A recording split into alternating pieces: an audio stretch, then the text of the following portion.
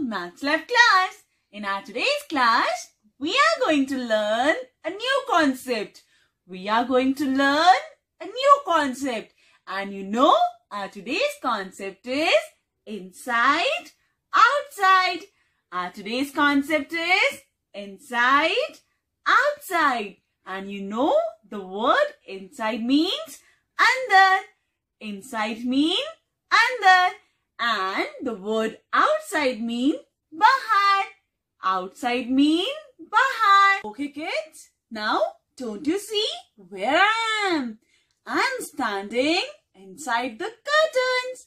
I'm standing inside the curtains. And now see, I'm standing outside the curtain. I'm standing outside the curtain. Okay kids, now can you see here I'm having two pots. Here I'm having two pots. Now can you see? In this pot, the flowers are inside. In this pot, flowers are inside. And see, here the flowers are outside the pot. Here the flowers are outside the pot. Inside outside. Inside, outside.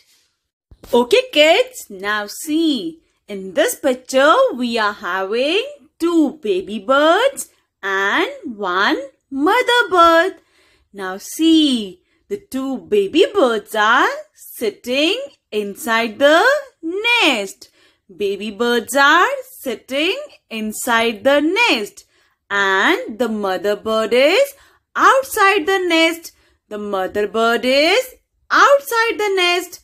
Inside, outside. Okay, kid. Okay, kids. Now, can you see? The small balls are inside the basket. The small balls are inside the basket. And see, this big ball is outside the basket. The big ball is outside the basket. Small balls are inside the basket and the big ball is outside the basket. Inside, outside.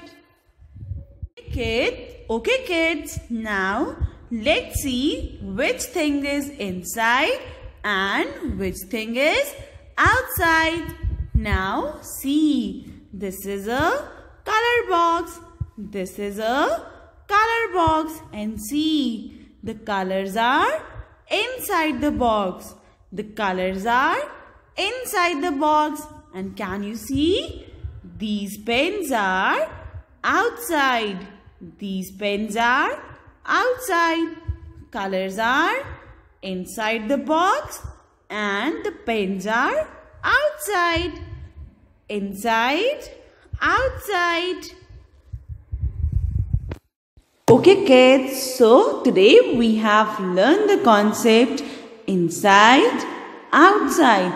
We have learned the concept inside, outside. Inside means andar, outside means bahar.